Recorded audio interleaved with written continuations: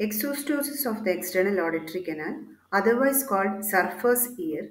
It is bilateral, smooth, sessile, hemispherical swellings, usually multiple, and occurring in the medial portion of the external auditory canal, just lateral to the tympanic membrane and medial to the sutures of the tympanic bone.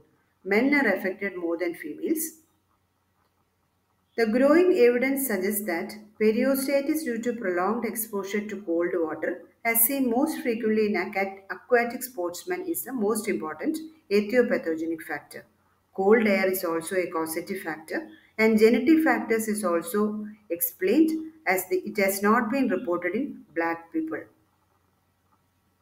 And pathology, it is broad-based and dense and composed of lamellated bone covered with periosteum and squamous epithelium. Exostosis having a laminated appearance representing layers of newly formed uh, bone and they lack fibrovascular channels.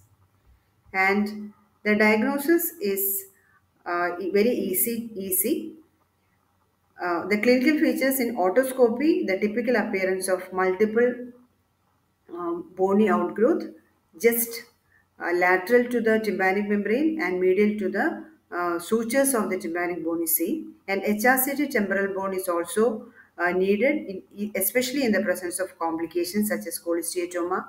And uh, audiological testing is mandatory as conductive hearing loss is the second most frequent indicator for surgery after repeated uh, otitis externa.